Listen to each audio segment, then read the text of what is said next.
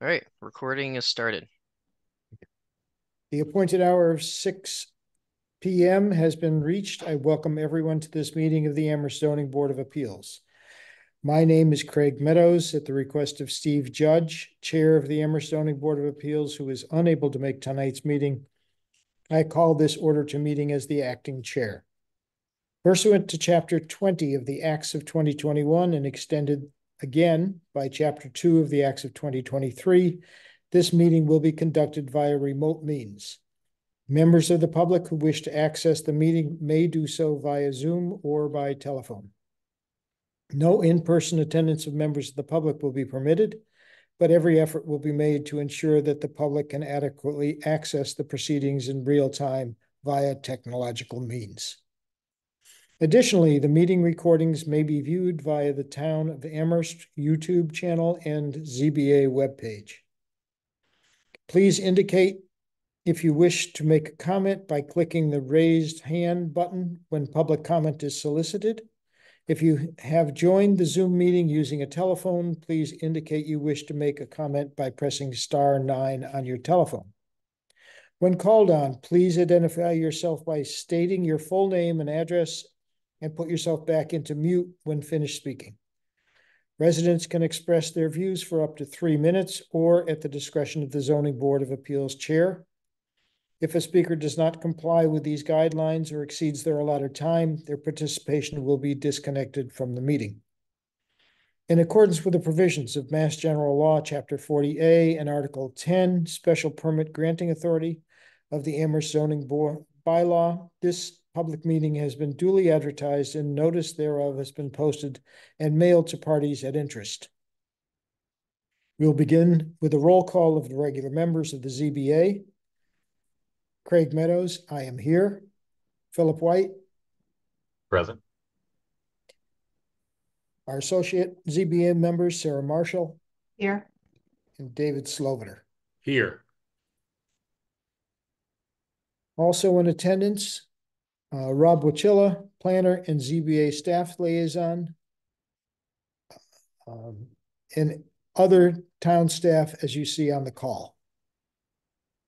The zoning boards of appeals is a quasi judicial body that operates under the authority of chapter forty A of the general laws of the Commonwealth for the purpose of promoting health, safety, convenience, and general welfare of the inhabitants of the town of Amherst. One of the most important elements of the zoning bylaw is section ten point three eight. Specific findings from this section must be made for all of our decisions. All hearings and meetings are open to the public and are recorded by town staff. The procedure is as follows. The petitioner presents the application to the board during the hearing, after which the board will ask questions for clarification or additional information. After the board has completed its questions, the board will seek public input. The public speaks with the permission of the chair. If a member of the public wishes to speak, they should do so by using the raised hand function on their screen. This chair, with the assistance of the staff, will call upon people wishing to speak. When you are recognized, present your name and address to the board. For the record, all questions and comments must be addressed to the board. The board will normally hold public hearings where information about the project and input from the public is gathered, followed by public meetings for each. The public meeting portion is when the board deliberates and is generally not an opportunity for public comment. If the board feels it is enough information and time, it will decide upon the application tonight. Each petition heard by the board is distinct and evaluated on its own merits, and the board is not ruled by precedent. Statutorily, for a special permit, the board has ninety days from the close of the hearing to file a decision. For variance, the board has hundred days from the date of filing to file its decision. No decision is final until the written decision is signed by the sitting board members and is filed with the town clerk's office. Once the decision is filed with the town clerk, there's a twenty-day appeal period for an aggrieved party to contest the decision with the relevant judicial body in Superior Court. After the appeal period, the permit must be recorded at the Registry of Deeds to take effect. Tonight's agenda. roll call and the minutes, approval of minutes of January seventeenth, twenty twenty-four. The public hearing, ZBA FY twenty twenty-four 7 Gabe Kraus's Gabe's Underground request for a special permit under sections three point three five two point three, five point zero four one, and five point zero four two of the zoning bylaw to create an establishment consisting of a restaurant and nightclub with pre-recorded entertainment, two patio areas for outdoor dining, and a total capacity of three hundred occupants. Located at 23 25 North Pleasant Street, map fourteen A, partial fifty, general business zoning district, and DRB and MPD overlay districts continued from 1-17-2024. Public meeting then, a discussion, general public comment period, other business not anticipated within forty-eight hours, and adjournment. The first order of business tonight is the minutes, approval of mi- meeting minutes from January seventeenth, twenty twenty-four. Has everyone on the board had the chance to review the previous minute, meeting minutes? I see a lot of heads shaking yes. Are there any comments or edits that are needed for the minutes? Very good. No comments? What a surprise. I would entertain a motion to approve the minutes from January seventeenth, twenty twenty-four with edits if needed. So moved. Is there a second? I'll second. Second. The vote requires a roll call vote. The chair votes aye. Mr. White, Aye. Mrs. Marshall, Aye. Mr. Sloviter. Aye. Next, ZBA FY twenty twenty-four 7 Gabe Kraus for Gray, for Gabe's Underground. 2020 23 twenty-five North Pleasant Street. Members sitting on this panel are myself, Mr. White, Ms. Marshall, Mr. Sloviter. Are there any disclosures? No disclosures? Then who No. is representing the applicant in this matter?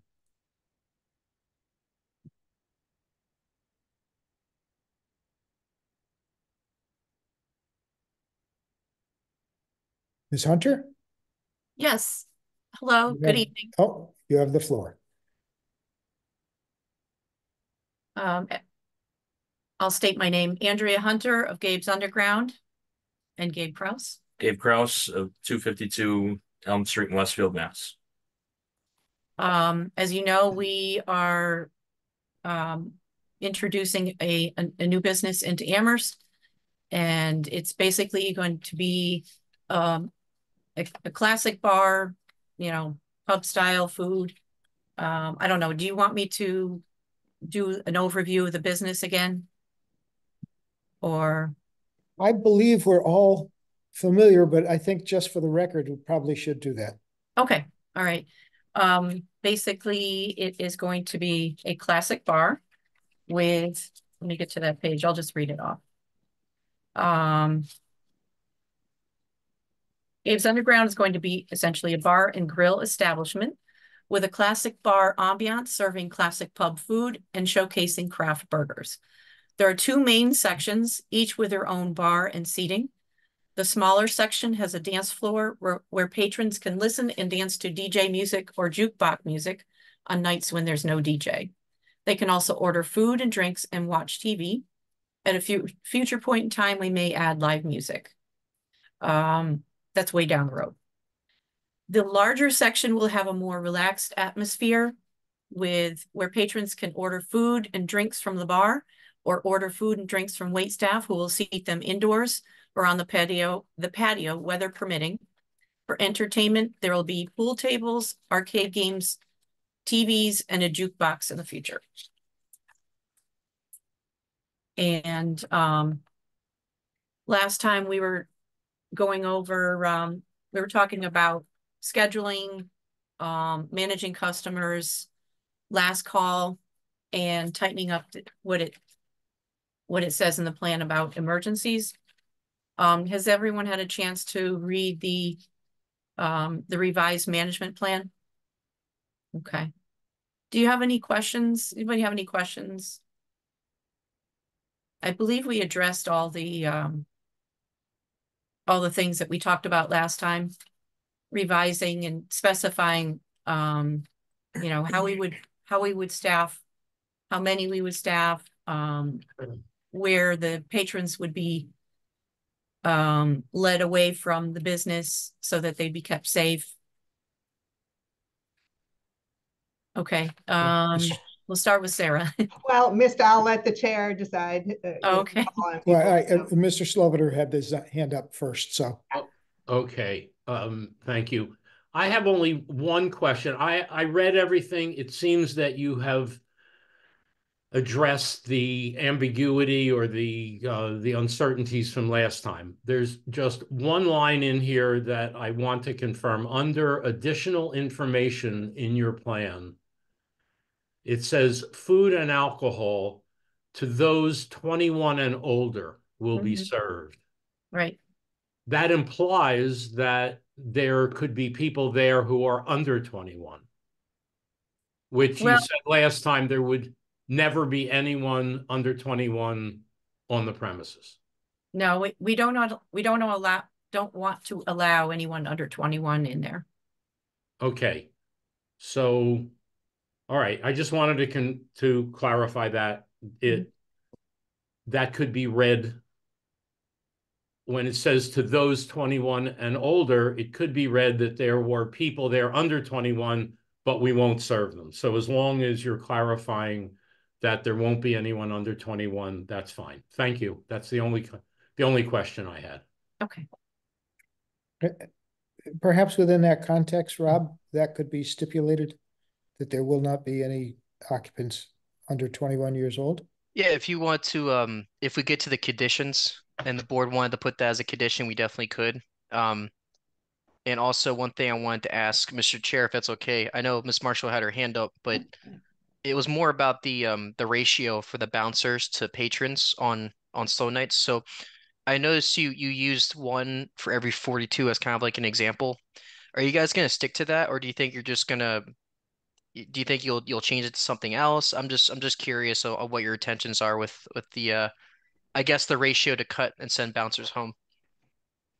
we're gonna stick pretty close to that because we, we came with a, came up with that number based on on full capacity of three hundred and um seven bouncers on a busy night and divided, you know, divided that out and we come up with about forty-two. So we're gonna stick pretty close to that. It's a pretty comfortable number. Ms. Marshall? Yeah, um, uh, you really, you really tightened up the plan. I think that's great. I ob- ob- observed some discrepancies in the statements about last call, but it may just be a typo in the, in the, uh, staff's project application report, because two places I noticed it was twelve twenty-five AM, but in condition, possible condition twenty-two that I think Rob prepared, it says last call is twelve forty-five, so just need I'll to be I'll sure that own- it's correct in the I'll permit. own up that's probably an error on my end, Sarah. So um Okay. I'm gonna change the information once I um review everything again tomorrow. But um thank you for pointing that out. Okay. Great. Um, and is it clear also when the business closes? I know you're not serving after one, but then people, patrons can stay until two, is that right? And then they have to leave? It is clear, um, let's Okay. see, I wanna find the page. I've just forgotten where, I didn't recall. Yeah, it's, um, it, it looks like it's page two, page, top of page four, which says hours of operation. This is in your management plan? Yeah, Yes, yes, I see. Okay, thank you. That's fine, that's all I had. Yeah, I, I will say that I also thought it was much clearer and much more better defined with this Thank you. Addition. Rob? Yeah, I want to add on to that too for the closing. I noticed in your managing patrons as they leave section, you Yeah, the last yeah. sentence says out by 1 a.m. So that's very clear and that um that basically makes your intentions of closing at one very clear to us. Right. What, what, say that again? So there's a Andrea- section on uh managing patrons as they leave. It's the bottom of page middle of page six, that section. Um there's the second paragraph. It says during operating hours, bouncers will be monitoring the patrons as they leave to ensure they comply with mass laws regarding alcohol beverages, as well as making sure they leave in orderly manner and that all patrons leave by 1 a.m. Okay, So, you know, it's perfectly clear, makes a lot of sense. Philip, did you have anything, since you have more knowledge than any of us on, Um, I reviewed all of this, um, and I, think like the majority of the board, I want to thank you guys for clearing up a lot of my kind of questions, uh, with it and kind of putting, I guess, more of a fine point on the details. Um, but yeah, I have nothing. But thank you, Mr. Chair. okay? Well, if there uh are no further questions from the board members, um then we'll we'll go to public comments. Mr. Rob, do you have Chair, any? we do not have anybody in our attendance um Have for we public gotten comment. that boring? I don't think there are anybody anybody ever joined. I think it was just the applicants. Okay. Uh. Well. Uh, if we're, have no public comments, then we will, uh, I'll ask the board member to provide any further thoughts and opinions.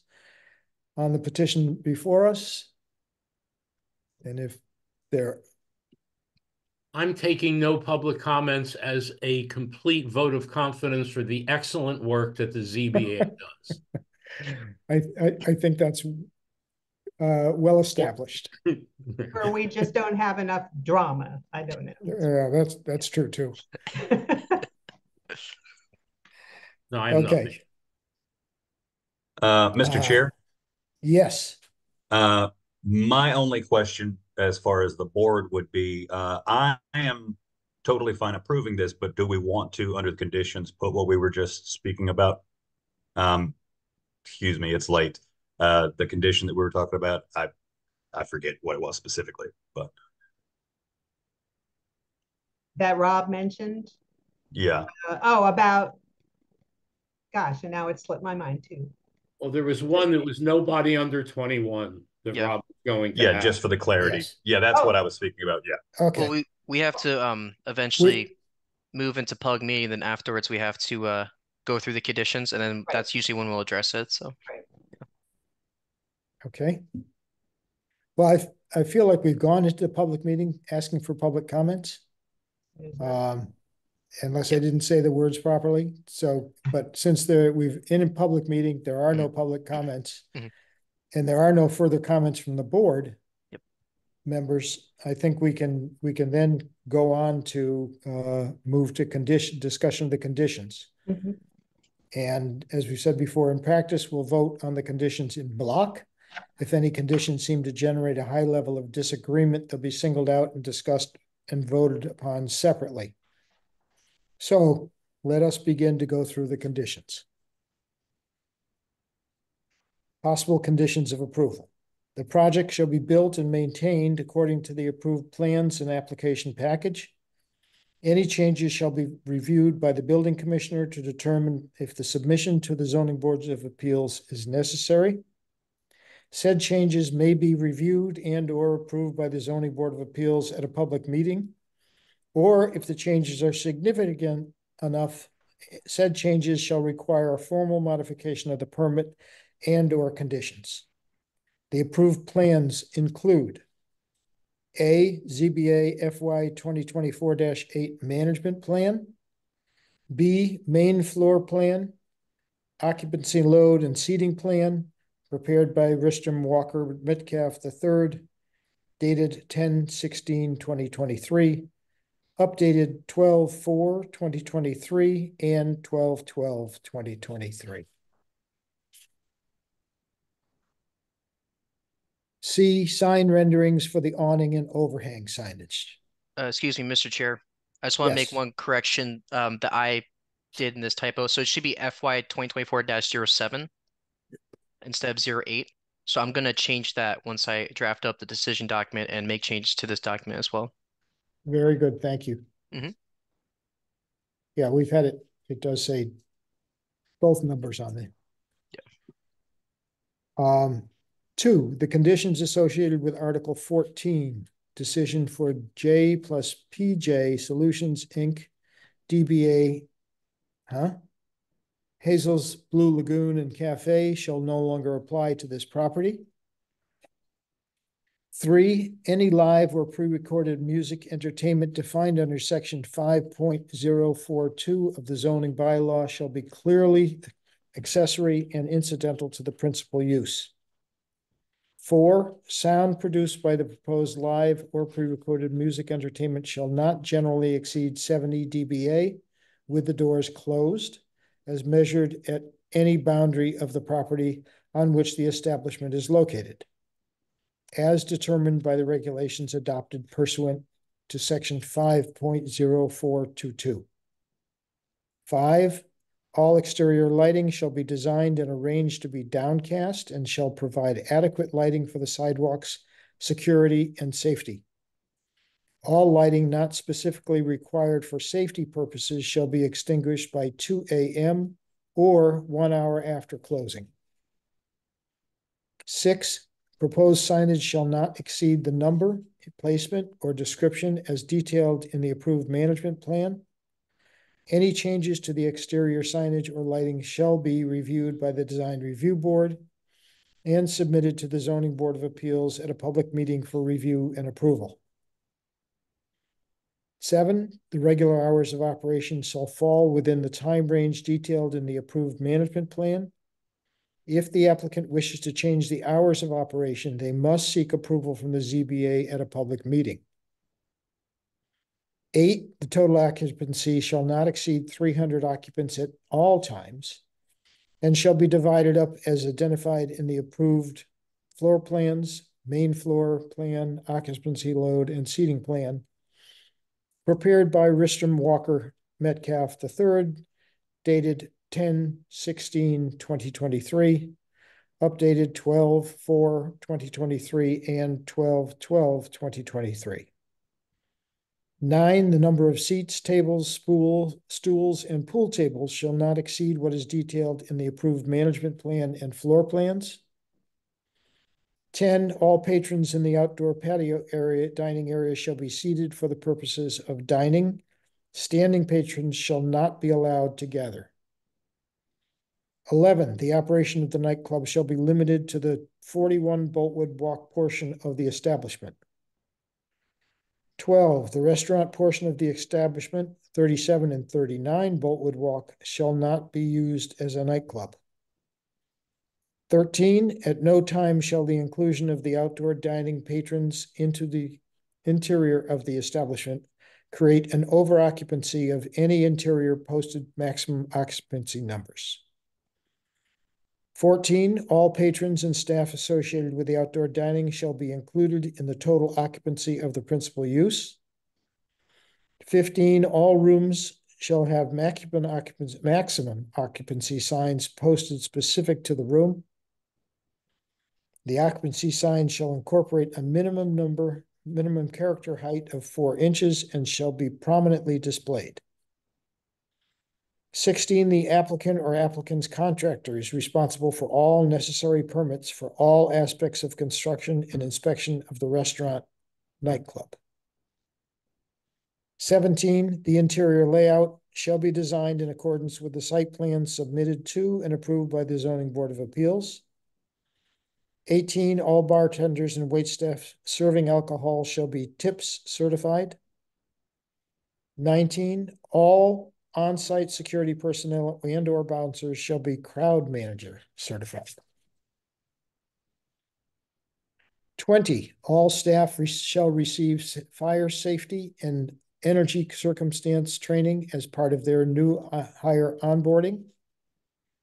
Twenty-one, the employees of Gabe's Underground shall be responsible for controlling loud and or obnoxious behavior in and around the building. Twenty-two, alcohol shall not be served after one AM and last calls shall be at twelve twenty-five AM. I'll take note of that one. Great. Thank you. Yep. Twenty-three, alcohol shall only be served to those seated outdoors for the purposes of dining and shall be served in accordance with the Board of License Commissioners regulations.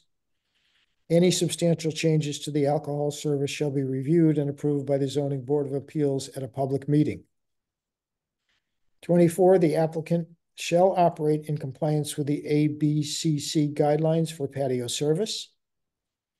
Twenty-five, a barrier and or other marking in accordance with the ABC, ABCC guidelines shall be enclosed, shall enclose the proposed outdoor dining areas. An egress aisle of forty-four inch minimum width shall be maintained between the outdoor dining tables and the chairs and the east wall of the covered portion of the alleyway.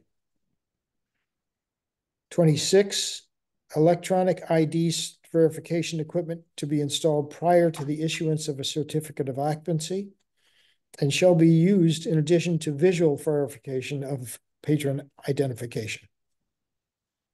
Twenty-seven, the applicant's management personnel shall be responsible for ensuring that the exterior of the establishment is free of trash and litter by the close of business on days in which the establishment is open.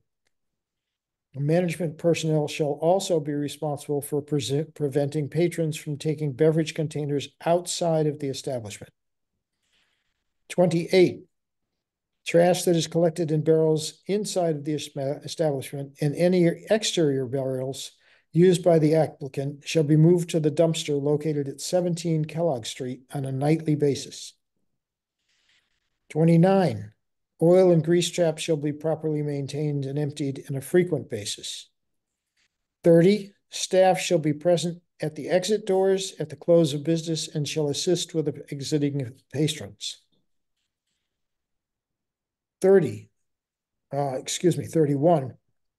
The double doors located under the awning shall be kept closed during normal hours of occupation, operation, with the exception of a large number of patrons entering and exiting this specific egress point at any one time. Oh. Thirty-two.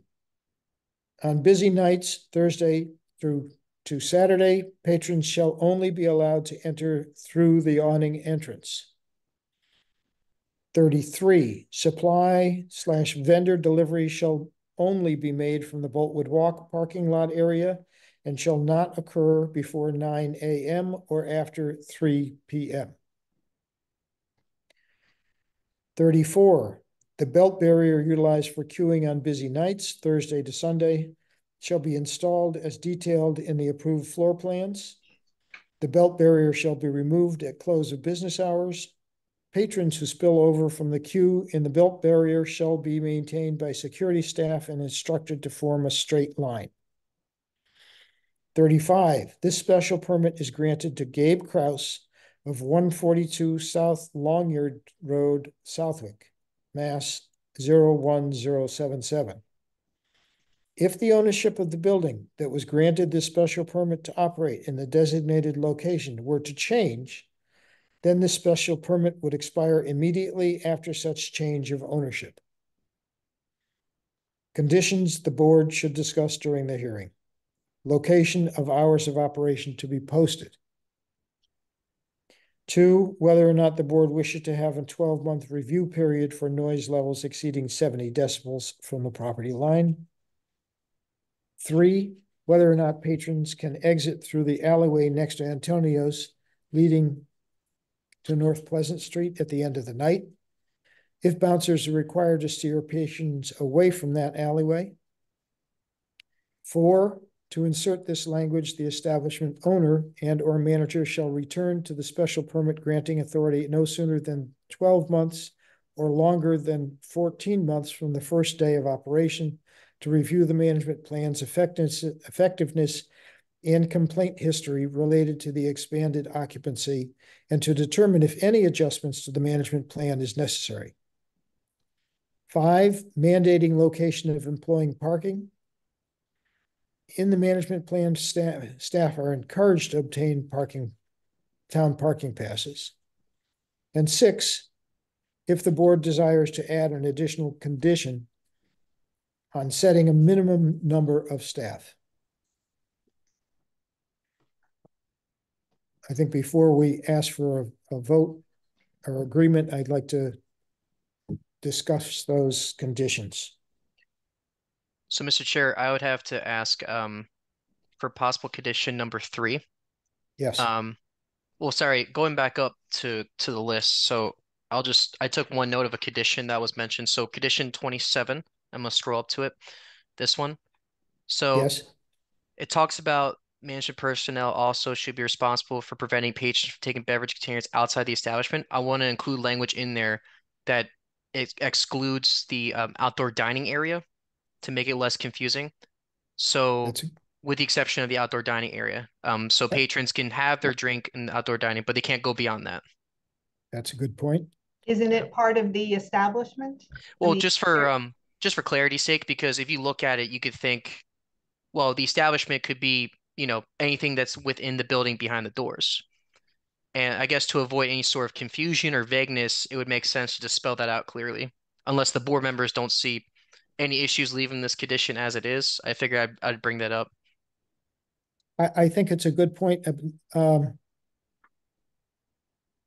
are there, I, I think I have a question that coincides with that.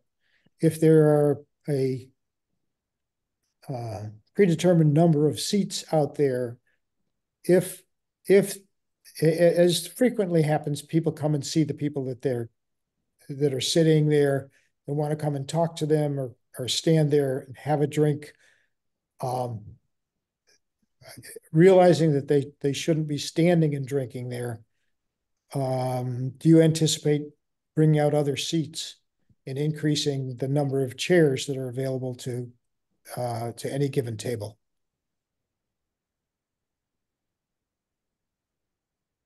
How would you handle it? Let me ask that question a little more openly. Well, there's a maximum number of eighteen seats allowed on the patio. Um, so it can't exceed that. And there's also a condition, Mr. Chair, where it says um, there's no standing room out there. Right. Right, Um, and also, you know, they have that max number of chairs, which is also in their plans, and then, you know, the other condition that limits standing out there. So those would be quick interactions, but they wouldn't be for too long. Ms. Marshall? Yeah, about number twenty-seven and Rob's concern, I wonder if we, if we just add when they depart to the end.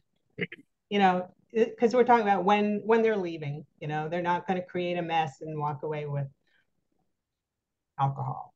So preventing patrons from taking beverage containers outside of the establishment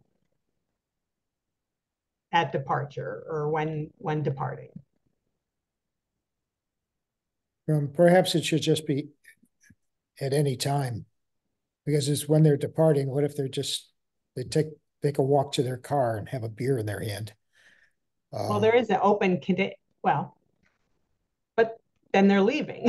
I mean, if Well, but uh, I, I think having the bouncers prevent them from taking anything out, uh, outside of the establishment is, is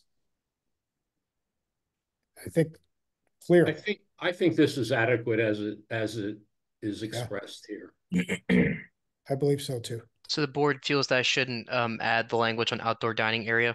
You think the eh, the condition written as is is is good? Uh, if the outdoor dining area is part of the establishment, which it is, then Yeah. it doesn't need additional clarification. Okay, I'll um I'll scratch that one off then. Mr. Sloviter? Is access to the outdoor dining area only through the, through the restaurant? Yes, there's a door, um. Right.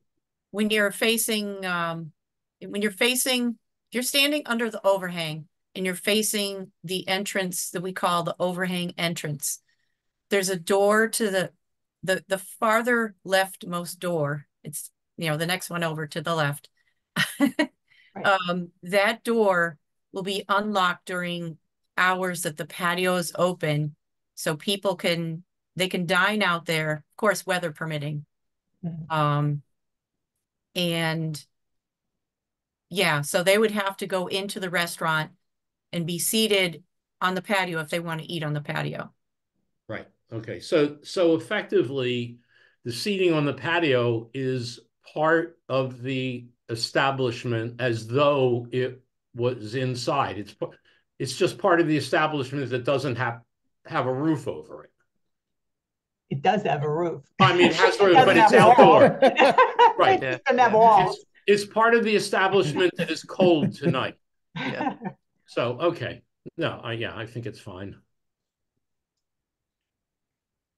Um, Ms. Marshall? Um, I had a thought about condition twenty-four. The last sentence eh, regarding, um, security staff will instruct patrons waiting to form a straight line. And I don't know that we need to specify where that, where that line is, but it just shouldn't impede pedestrians, right? I'm sorry. for- Um, That's Four- not, that, what, that, you said twenty-four, but that's not twenty-four. 34, 34. Thirty-four. Sorry. okay. So how's the board feel that should be In- worded? Um, instructed to form a straight line that doesn't impede pedestrian traffic or something. Okay. um, Good point. So, um, I guess just to read over, um, so are you saying just to add that towards the end, Sarah? Uh, instructed to form a straight line doesn't impede with pedestrian traffic, or do you think That- we should try to shorten it?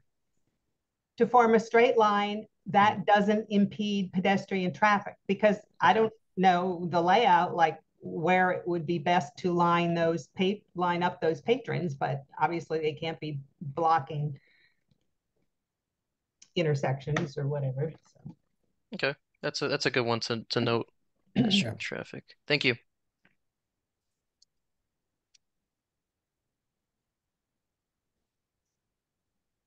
Now, as far as the consideration uh, for discussion, the location of hours are opera, of operation to be posted.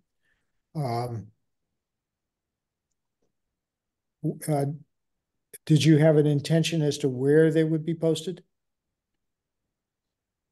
On the outside doors, where? On the wall? Is that, was that question addressed to us? Yes, I'm sorry. It it Okay. was addressed to you. Um, it would be posted, they'd be posted on the doors. Um, over by, I'll, be more specific, over, um, under the awning. It would be posted in the windows that are on either side of the doors. And at the overhang entrance, it would be posted on, um, the overhang door entrance. Cause it- it's a, a window type of door, so it Mhm. would be on the inside facing out.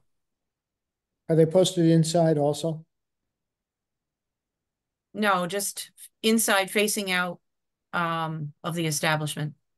It, I mean, I think it might be viable to post them inside also, Okay, just, just so the patrons know when they have to leave and when. yes, it could be a double-sided sign in all cases. Okay, great. So, Mr. Chair, I guess the reason why I put this in here was to consider, um, you know, the board doesn't have to really be specific about it unless they want to be, but uh, figured just have like a general condition that says hours of operation have to be posted at all times. If the board wanted to make that condition, that's totally fine. I'm open to ideas whether or not you uh, you want to word it a certain way or if you would rather not make this a condition. Uh, there's no reason not to have it as a condition, I would think. I guess I'm surprised that it isn't. I mean, I thought, thought businesses generally had to post when they were open and what their hours are. And I'm surprised that maybe that's not the case. I know I'm always annoyed when I can't find that information. Um, I think it's reasonable, but I don't know that we have to be very specific about it. I think as long as we know that they're going to be posted, then we should be adequate. Right.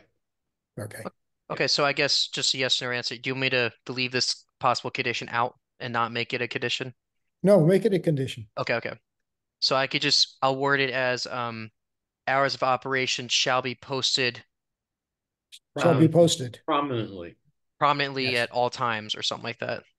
Yeah, Okay, We don't need. but if we don't- need, We don't need to micromanage the exact No. spot where they're posted. If they're, if they're, should be prominently posted at all times, that's good enough. Yeah, that sounds good. Uh, On, on the second question, uh, I'm wondering if a twelve-month review is a little bit long. I'm wondering if a, a three or a six-month review by, at least by uh, the building commissioner is appropriate. It's up to you guys. Um, I figured, you know, the board could decide that time frame, or even if you want the review period. I, I think it's, I think if there's difficulty in maintaining the decibel levels, then it should evident relatively quickly, as long as that, you know, by the time we get finished here and, and they get the construction done, it's not uh, the beginning of summer and the kids are gone. Uh, Yep. then we can't tell anything. So maybe a six-month period.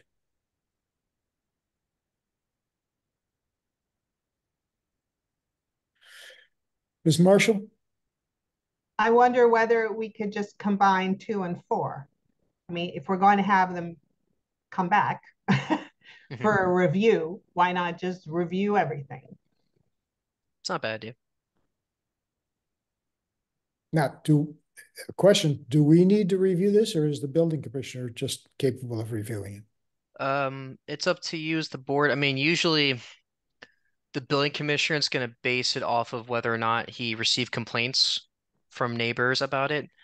Um, and he'll like send like an inspector to go check it out or something.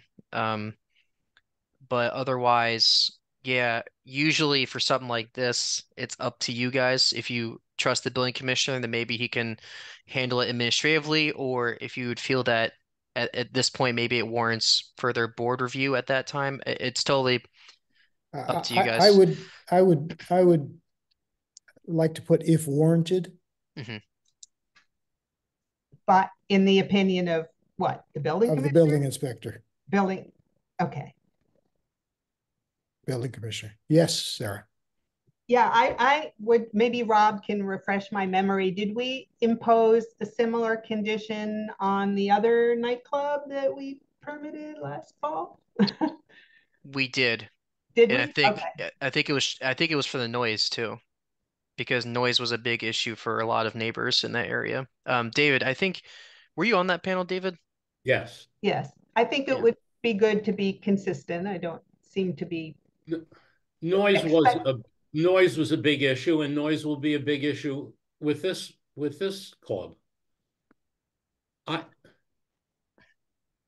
Yes, Mr. Sloviter. I, I agree with the chair that twelve months is too long. If problems come up, if this club is successful and busy, and I certainly hope it is, that uh, I would think within sixty days, there would, it would be evident whether there are problems that are not being contained.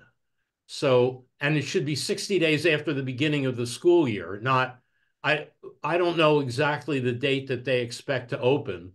But, you know, maybe if the school year starts at the beginning of September, we could put a review date of October thirty-first, thirty days. October thirty, I had to check how many days are in October um, of October thirty-first, uh, twenty twenty-four. What, uh, uh, can I ask the applicant, when do you expect to be open and operating and loaded with kids? I would say the third week of February, I think what we're aiming for now. Third week of February now? Yeah. The, the, oh, wow, Maybe, wow. Well, congratulations. That's way sooner than I was expecting. So if I, you're. I, I, I don't see, I don't think we can. I, I think that's uh wishful thinking.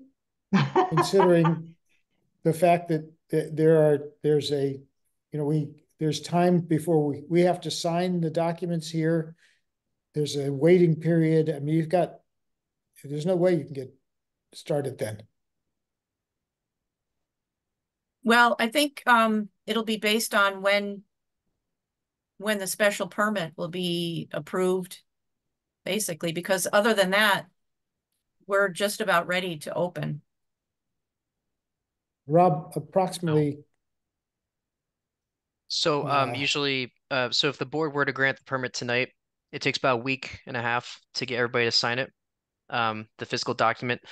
And then afterwards, um there's a 20 day appeal period in which is required by state law, which basically allows for aggrieved parties and members of the public to challenge the decision of the board to grant you the special permit in a higher court, like land court or superior court.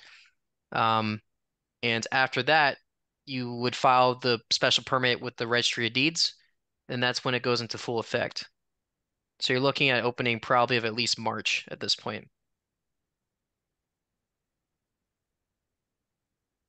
Well, it- uh, Ms. Marshall, I would suggest then just asking um, the owner to return after six months, Mhm. six months after opening, Yep. because that will include at least three months of operation during, during an academic term.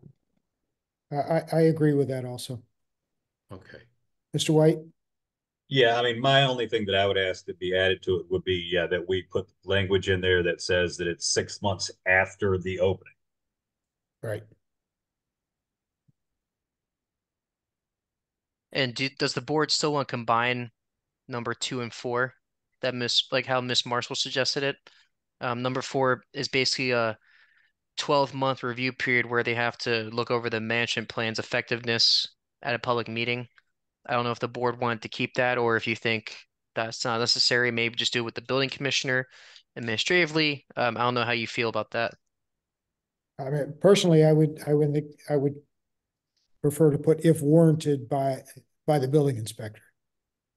Building Right. commissioner, excuse me. So, But so the building commissioner determines if it goes to the board? Yes, Okay. I see people nodding. I agree. Okay. All right, And does the board want to base that off of any sort of like condition where it's because they receive complaints or just that they have to reach out in 12 months' time to the building commissioner to to review and set up an appointment to go over the management plan's effectiveness? six months time. Six months' time, sorry. Um, hmm, I guess I'm- Mr. sorry. Mr. Sloviter, I don't think we need to duplicate a whole lot of enforcement here. Aren't, aren't there mechanisms already in place that if there are numerous noise or trash or other complaints, somebody calls somebody to make the complaint. They're not calling us. So they're going to call the building inspector or the police and somebody will go to the building inspector. There are, aren't there mechanisms in place already to deal with problems? There is, uh, code enforcement usually does that. Inspection services has a code compliance officer who will go and issue citations if they're violating any sort of zoning or management plan inf- infringement, I should say. Right, so I don't, I don't think we need to be overly burdensome in terms of Right. uh, imposing reviews or things like that. If, if the building inspector thinks that there is a recurring, a systemic problem in the way they're operating this, then the mechanism is there to do something about it, and then the building inspector, as the chair had suggested, could uh, ask for them, uh, the, uh, the club managers to come to, back to the granting authority. But if, unless that happens, I don't think we need to impose something on them. If they're, if everything is wonderful, who, why would we care? I, I, I agree with you. I think that, that what, uh, is logical to happen is if the, the building commissioner is got it on his calendar to review it in six months, then he'll review and and if it's not warranted for us to do any further review, then he won't, we don't have to. Well, if you, um, sorry, I didn't want to interrupt Miss Marshall. She has her hand up. I know. Um, just that if we have, ha- if we've had a condition that addresses this Mhm. in another permit, Rob, can you just grab that? Is it quick to grab that language and we just say, is it acceptable in this case? I mean, maybe we, I, I think we say that we're not, we're, we're not bound by, uh, true, but why, we, why do we need to reinvent the wheel every time? I mean, well, I mean, we're not real, it, the language is there. It's just a matter Uh-huh. of changing it from twelve months to six months if warranted by the building commissioner. all right. So if it, that it's doesn't simple enough. Okay, if it doesn't introduce any new uh, ambiguities or something for the building commissioner, that's, that's fine with me. Oh, I'm actually gonna look at that specific wording on that condition. I have it in front of me. I just want to make sure that Oh. we we did that for the spoke. Um, let's see. A- And, since Rob Moore didn't come tonight, we can lay it on him anyway. I'm sure he'll be happy about that when I tell him tomorrow. Blame him. Uh, I actually don't see a condition f- or so what we have here for for Chad, we we put in uh, a condition that says the establishment owner or manager shall return to the special permit granting authority 12 months from the first day of operation to review the management plan's effectiveness and complaint history related to the expanded occupancy and to determine if any adjustments to the management plan is necessary. I think we can leave it up to the building inspector, building commissioner to make that decision. Okay, so I guess a condition we should, so we should probably reword that condition then. Yes, I, I guess get rid of the the sound level measurement. And then just reword it, combine two and four. And just word it in a way where it says, um, building, they have to meet with the building commissioner twelve months after opening, opening. And they have to review the management plan's effectiveness. And if the building commissioner feels that further review is needed by the board, then they have to, uh, come to a public meeting. Does that sound, um, sorry about that. Does that sound like it makes sense? I, I think that's less burden, burdensome on everyone. Okay. Okay. I'll write that down.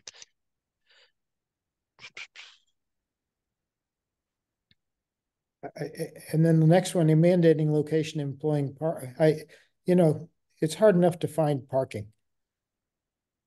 We, we, I don't think we can mandate that they have to park on, uh, Main Street or in the lot or anywhere else, because if it's parked up, then they, they're not gonna be able to do that anyway. Okay.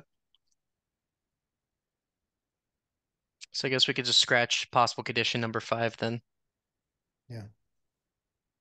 Uh, and condition number six, uh, they've already given a, what I think, uh, but other opinions are, would be interested in hearing if, uh, if there's something different than what they proposed in their management plan for number of employees. Yes, Mr. White. Um, I would actually be fine with striking number six. Um, just, you know, with my experience in working in restaurants and bars, when you get to a point where you're cut down to closers, um, that's going to be generally depending on the size of the location and not including bouncers. You'll have one or two people in the kitchen that are closing. You'll have a closing bartender for each bar and maybe a closing server and then management um, usually just one manager. Uh, but I mean, I would be fine with striking that, considering that, you know, as a business, and we've got the stipulation in the management plan about, you know, particular bouncers and things like that. Mhm. Um, I just don't really see it as necessary. Right. I agree. We'd have to, you know, it's contingent. The minimum depends on what's happening and, and that's what the management plan's about. So Right. we just be, have to repeat our, repeat ourselves. Mr. Sloviter? I, I think six, I agree. I think six should be stricken. I'm satisfied with what they have spelled out in their management plan. I think it's adequate. I don't have experience managing bars. I only have experience patronizing them. So this will have nothing, my opinion is just that I think they've already addressed this adequately and we don't need to pile on here. So I would strike number six as well. Very Okay. good.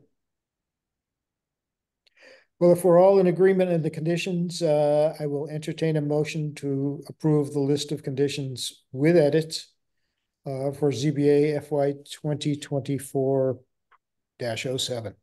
Mr. Chair, Yes, um, do we want to add to the conditions what we were discussing about? just Yes, Putting yes. in the conditions about the closing time? correct. Okay, Good, Rob, Rob, you've got all of those conditions there. Do you want to read them back to Ooh. us? Ooh, Sure. Yes. You mean, sorry, go ahead. we did David? not, we did not address number three. The alley next to Antonio. Oh yeah, so I um Oh, good they actually point, s- sorry. they actually spelled that out in their management plan, but if the board wanted to include that as a condition, we definitely could. This one right here.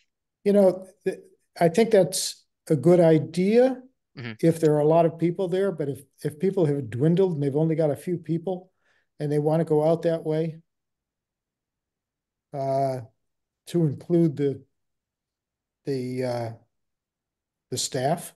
Mhm. I, I don't see a problem with them going out that way, but that, that's my opinion. Mr. Chair, Yes, I check, sorry. Um, if, if I remember correctly, and please correct me if I'm remembering this wrong, but when we were discussing this, I believe, weren't we discussing it under the pretext of an emergency situation? Uh, to prevent any sort of like a stampede, you know, and that, the, okay, Yeah, I raised that concern and Yep. I don't need condition, possible condition three. I mean, it, it- it's just, they can, they can figure out if they can fit down the alleyway or not. so. right. David? I think, I think condition three would be too unwieldy to enforce. That alleyway is, is narrow and I think problematic anyway. But the chair informed me that he had carried very large, heavy bags of things down there. And I take the chair at his word. And that has to be situational, in my opinion. We should just leave that out completely. If there is a problem, it, it can be addressed, but I would, I would remove that. Okay. Noted. Uh, did you want me to go through my my corrections, Mr. Chair, just so we know what they yes, are? please, just so that we're clear on them.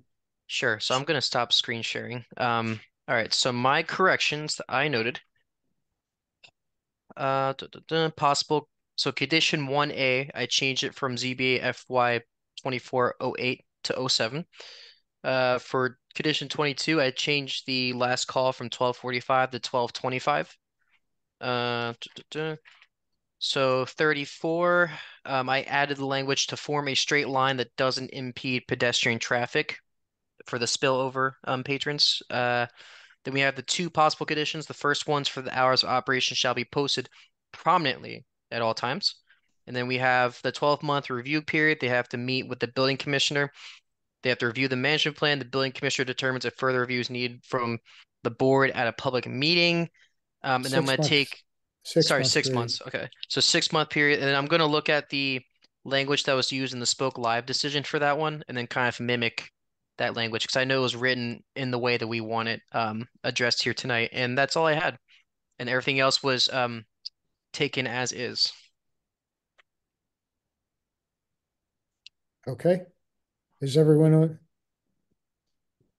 okay with that? Right, uh, uh, Rob, that means that three, five, and six were simply deleted. Yes, that's correct. Okay, Okay. If we're all in agreement with the conditions, I'll entertain a motion to approve the list of conditions. With So edits. moved. Second, so seconded. please. Thank you. The motion's been moved and seconded. Any discussion? We require, this requires a roll call vote. The chair votes aye. Mr. White, Aye. Ms. Marshall, Aye. Mr. Sloviter, Aye. the motion passes. Uh, we will now move to on the, to the discussion of the findings, which will go through each finding and vote on the, findings in block. Ten point three eight zero and ten point three eight one. The proposal is suitably, proposal is suitably located in the neighborhood in which it is proposed and or the town, total town, and is deemed appropriate by the special permit granting authority. The proposal is compatible with the existing uses and other uses permitted by right in the same district. Uh, board review, the nightclub and restaurant with over two hundred occupants use is allowed by special permit in the BG zoning district. The property 23-25 North Pleasant Street is located in a built-out commercial district with similar uses nearby. The intended use would not deviate from the existing uses in proximity. 10.382, 10.383, and ten point three eight five and ten point three eight seven. The proposal would not constitute a nuisance due to air and water pollution, flood, noise, odor, dust, vibration, lights, or visually offensive structures or site features. The proposal would not be substantially inconvenient or hazardous to abutters, vehicles, or pedestrians. The proposal is reasonably protects the adjoining premises against detrimental, detrimental or offensive uses on the site, including air and water pollution, flood, noise, odor, dust, vibration, lights, or visually offensive structures or site features. The proposal provides convenient and safe vehicular pedestrian movement within the site in relation to the adjacent streets and property. The board's review, the applicant provided a detailed plan on pedestrian movement. Light intrusion would be minimal the board should consider asking the applicant how loud music would be. And we have made a determination as far as that's concerned. 10.384, adequate and appropriate facilities would be provided for the proper operation of the proposed use. Board review, the applicant appears to have appropriate facilities to properly operate, operate the site. 10.386, the proposal ensures that it is in conformance with the parking and sign regulations, Articles seven and eight respectively of this bylaw. Board review, the applicant's proposal complies with the uh, Town of Amherst parking and sign regulations. Ten point three eight seven. The proposal provides a convenient and safe vehicular and pedestrian movement within the site and in relationship to adjacent streets, property, or improvements. If the special permit granting authority deems a pro proposal likely to have significant adverse effect on traffic patterns, it shall per be permitted to require a traffic pattern, a traffic impact report. And the proposal shall comply with sections eleven point two four three seven of this bylaw. Board review vehicular movement is not a factor here. The board should further ask the applicant where patron overflow will spill out, and we have done so. Ten point three eight eight, the proposal ensures adequate space for the off-street loading and unloading of vehicles, goods, products, materials, and equipment incidental to the normal operation of the establishment or use. The board review, the proposed use is located in an alleyway which may make deliveries tricky during business hours. Condition thirty-four will address hours of delivery and should prevent issues during high peak traffic times. 10.389, the proposal provides adequate methods of disposal and or storage for sewage, refuse, recyclables, and other wastes resulting from the uses permitted or permissible on the site and methods of drainage for surface water. Board review, the applicant appears to have the appropriate methods for waste and trash removal. 10.390, the proposal ensures protection from the flood hazards as stated in section three point two two eight. Considering such factors as elevation of buildings, drainage, adequacy of sewage disposal, erosion, and sedimentation control, equipment location, refuse disposal, storage of buoyant materials, extent of paving, effective fill, roadways, and other encroachments on flood runoff and flow of storage and flow storage of chemicals and other hazardous substances. This finding does not pertain to this particular applicant. 10.391, the proposal protects, to the extent feasible, unique and important natural, historic, and scenic features. This finding does not pertain to this particular application. 10.392, the proposal provides adequate landscaping, including screening of adjacent residential uses, provision of street trees, landscaped land, islands in the parking lot, and a landscape buffer along the street frontage. When non-residential use joins, adjoins a residential district and uninterrupted vegetation, vegetated buffer shall, to the extent feasible, be established and maintained between buildings associated with uses under this section and the nearest residential property boundaries.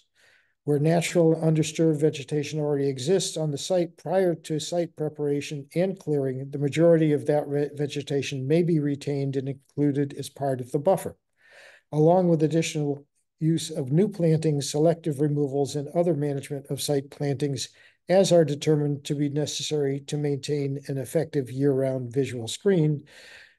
This applicant will not be providing additional landscaping for the intended use. It hardly. Ten point three nine three, the proposal provides protection of adjacent properties by minimizing the intrusion of lighting including parking lot and exterior lighting through use of cut-off luminaires, light shields, lowered height of light poles, screening, or similar solutions.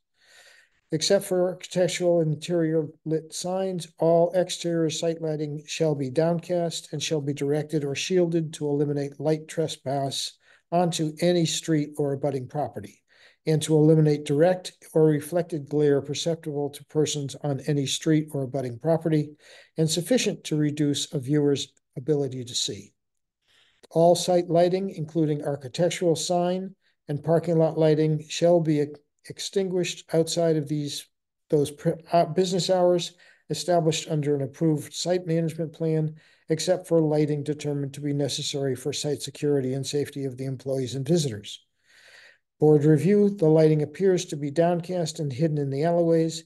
These factors seem to minimize light intrusion into neighboring properties. And we have dealt with uh, the timing of the lighting being extinguished. 10.394, the proposal avoids, to the extent feasible, impact on steep slopes, floodplains, scenic views, grade changes, and wetlands. Board, this finding does not apply to this particular applicant. I think I, anyway. 10.395, the proposal does not create disharmony with respect to the terrain and to the use, scale, and architecture of existing buildings in the vicinity which have functional or visual relationships thereto. Within the BL, BVC, BN, COM, OP, LI, and PRP districts, and any residential zoning district where a project in question occurs within the boundaries of a National Historic Register district, a special permit granting authority shall, if deemed deems the the proposal likely to have significant impact on its surroundings, be permitted to use the design principles and standards set forth in sections 3.2040 and 3.2041 apostrophe 1 through 9 to evaluate the design of the proposed architecture and landscape alterations within the BG and abutting BL districts, and for any town project within the, any district, the provisions of section three point two zero design review shall remain in effect. The board review. The proposed signage was approved by the design review board who operate under the auspices of section three point two zero of the zoning bylaw. There will be no exterior alterations of the building. Ten point three nine six, the proposal provides screening for storage areas, loading docks, dumpsters, roof equipment, utility buildings, and or similar features. The board review, it is unclear, unclear whether or not trash receptacles will be screened. The board should clarify this with the applicant. Um, since they're only temporary trash receptacles during the time of occupation, I don't think that this is an, an issue as far as we're concerned. Uh, ten point three nine seven, the proposal provides adequate or recreational facilities, open space or amenities for the proposed use. This finding does not apply to this particular application. Ten point three nine eight, the proposal is in harmony with the general purpose and intent of this bylaw and the goals of the master plan. Board review, the proposal abides by the standards set forth in both the zoning bylaw and the master plan. This petition makes a vacant building operational and promotes a small business in Amherst. If we are all in agreement with the findings, I would entertain a motion to approve the findings with edits if needed for ZBA FY twenty twenty-four oh 7 Is, So moved. and are you seconding, Sarah? Yes, I'll second. Thank you. Very good, thank you. The motion's been moved and seconded. Any discussion? This requires a roll call vote. The chair votes aye. Mr. White, Aye. Ms. Marshall, Aye. Ms. Slover, Mr. Sloviter. Aye. The motion passes. Are there any final comments from the board applicants before the motion is made to approve the special permit? Not at this time. I would, uh, uh, mo- um, I would entertain a motion to approve the special permit FY, ZBA FY twenty twenty-four 7 for Gabe Kraus, Gabe's Underground, and to close the public hearing. Is there a s- So moved. motion? So So moved. moved by Mr. Sloviter. Is there a second? Second. Thank you, Mr. White. You have The to motion has been moved and seconded. Is there any discussion? This requires a, re- requires a roll call vote. No discussion? The chair votes aye. Mr. White, Aye. Ms. Marshall, Aye. Mr. Sloviter. Aye. The motion passes. Congratulations, finally. Good luck. Thank Third you. time. Third time is a charm. That's right. Thank you so much. And best of luck. Right. Good luck, yes. Yes, good luck. I, I, I, I was in that space. I used that space for two and a half years, so it was a wonderful space. It's, it has a lot of character. It has a lot of history.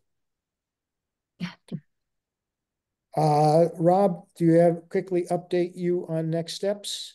Yeah, sure. So, um, so as I mentioned, I have to draft a decision document. I'll probably start that either tomorrow or earlier next week. I have to uh, then solicit signatures and review from the board members, which might take a week as well. Um, then afterwards, I'll file that signed document with the town clerk.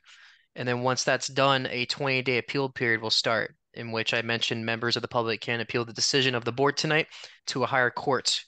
Um, and if if and when that appeal period passes, um, you would take the official document, uh, true top, true copy attest and the certificate of no appeal from the town clerk to the Hampshire County Registry of Deeds to be filed, and that's when your special permit becomes effective. Um, in the meantime, you can't operate the business until after that 20 day appeal period has ended.